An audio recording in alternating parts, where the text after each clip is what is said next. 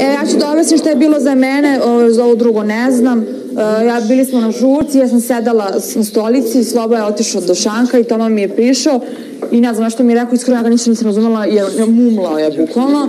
Ja sam rekla samo da, da, da i on je ovaj, u jednom trenutku bila neka pesma, on je stavio ruku na moje koleno i radio je samo ovako kao uz ritmu pesme. I Slobo se u tom trenutku, a mogu da ispričam, Miki, brate. Tiše malo ljudi.